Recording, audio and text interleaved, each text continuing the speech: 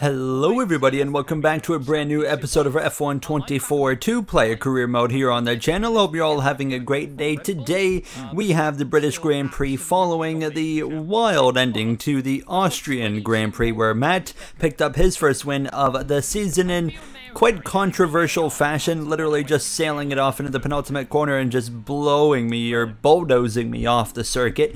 Uh, certainly didn't take a liking to that ending, but it is what it is. We can't change it. We got to move on. We got to move forward and certainly keep that in the back of our minds coming into today, but going forward as well into the rest of the Grand Prix that this season holds. Now, uh, I apologize for the lack of uploads in recent days. I've had a crazy, crazy busy week, um, but I'm looking finally like I'm starting to be able to get back to our normal uh, normal scheduled programming here over the next few days, which is going to be nice. Uh, so yeah, hopefully we'll be all right from here on out uh, for the next while. Now, as uh, FP1, the car felt really good. Actually, I was uh, finding a lot more pace in my VCARB than Matt was finding. Uh, we were P10 in practice while Matt was down there in P18, and yeah, I was quite confident coming into one-shot qualifying. We start one-shot qualifying with a typical issue, no force feedback, so I go into the pause menu really quick and then just exit it and that does the trick now which is good to know. Like I said recently that we have at least found a easy fix outside of having to disconnect the wheel and, and reconnect it. So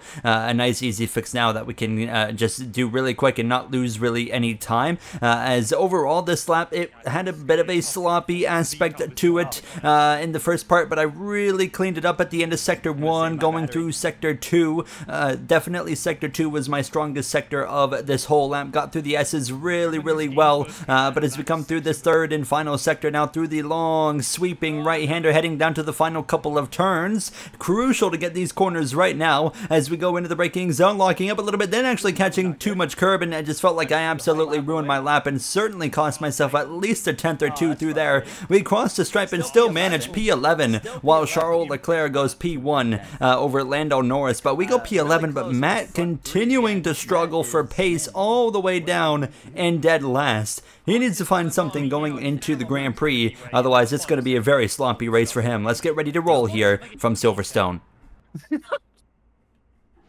oh, Gary, I love you. Right, let's do this thing. British Grand Prix from the back.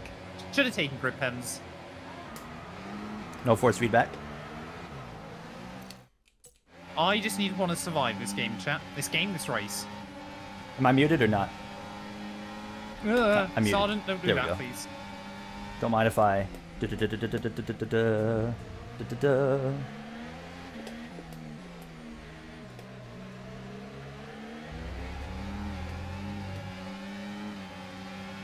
a pretty good start, I'll take it. Around the outside of Zhou.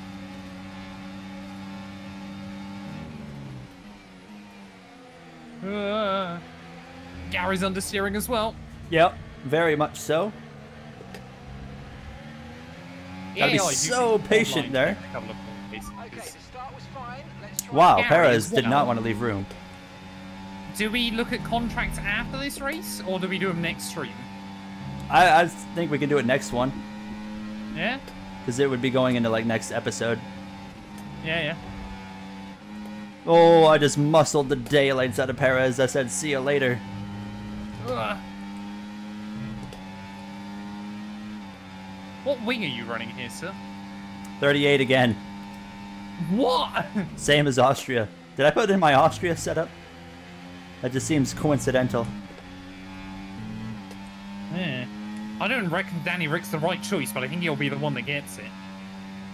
Like I said last week, it's just like, if Perez is gone, it doesn't really matter who gets the car. It's just a test session at that point for half the season and hope that they can... Uh get the points for the team for Red Bull to get the constructors. Like I'm just getting mugged down the streets. Oh, come on, Matt. Well, we're starting to train hard, so you might have some opportunities here. I think we're going to be able to get a few spots now. They are... No one's making a move. Long line of cars. We need to start pouncing on it, though. Let's focus on getting Checo here on lap 5. Something just happened. The ERS broke, but it's back. Okay. Oh, it does That, that. happened last uh, week as well. like yeah, Yeah. unless he ends up at like Alpine. Yeah, but he, why would they have him? There's definitely an issue with the battery. We are the battery's just cooking. Yeah, I'm going. I'm losing battery like crazy. Is it fixed now? I think it's fixed now. I think it's in our best interest to follow Stroll because he is, I would imagine, with that train effect, he's gonna get to them. So if we stay, we can kind of get our battery repaired here to where it needs to be again as well.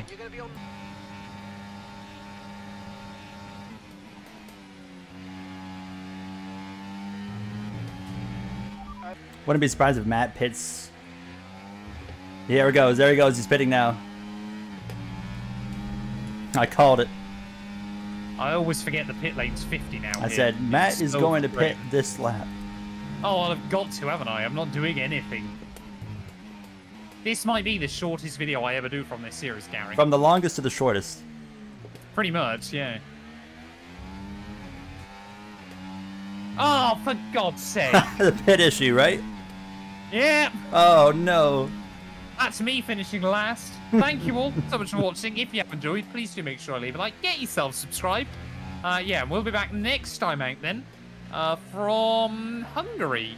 Maybe I'll be in a better car for that, but who knows. I'm pitting this lap because we need to try and undercut to get up to their DRS. So let's see if we have a pit issue. No issues, please. Good. Oh, for God's sake. Sorry, Matt. 2.5. I had a 5.5 second stop. Pit strategy complete. See these tyres through to the end now. Twisty old, thank you for I the think follow. I Ocon had appreciate an it. issue. Ocon won it.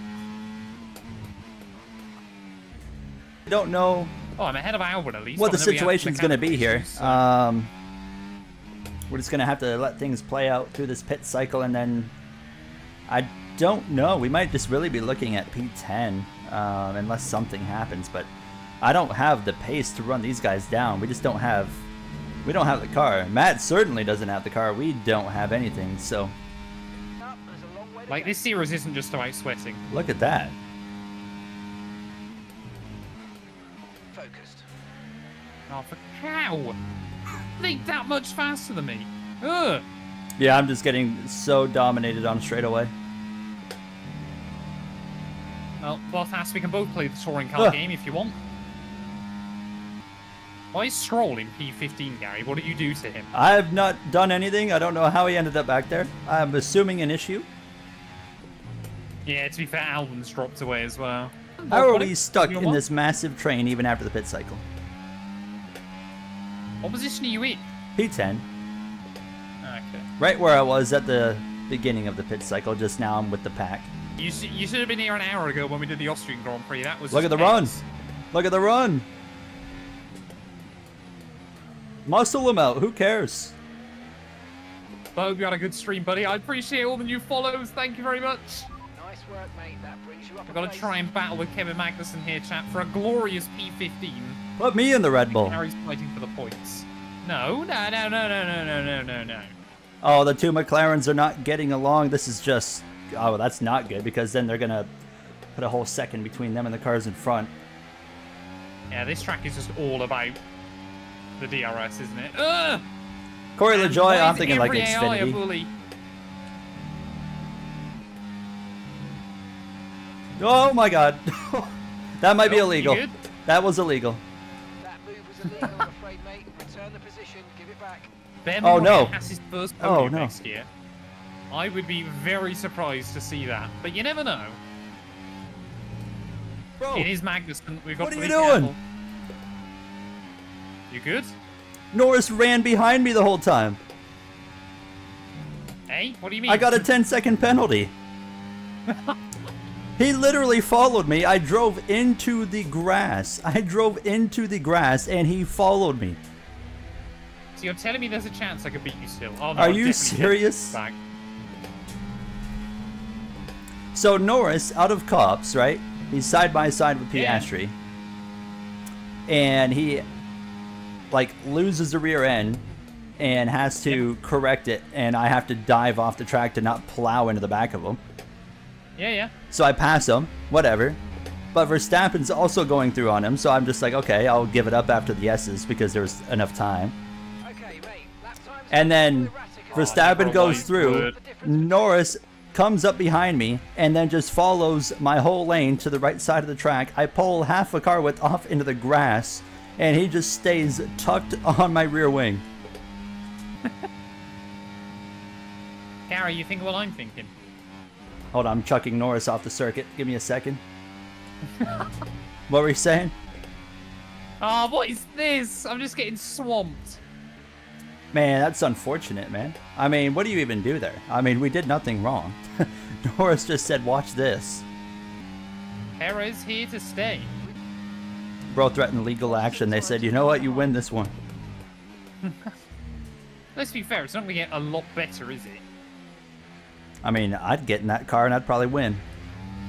No, you wouldn't. Yeah, I'm, I'm, I'm a trained professional. Gary, you can't even win in this car. I mean, I could, I could have if uh, someone would have raced me clean, you know.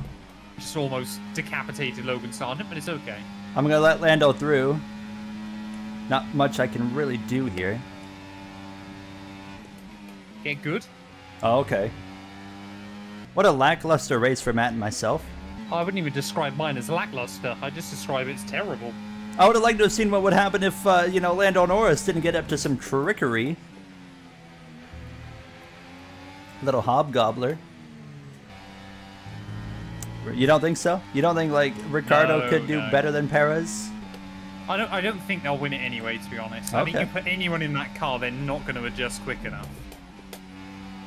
Ricciardo wins first Grand Prix back. If he won the first Grand Prix back at Zandvoort, I think there would. Be Oh, that would be insane.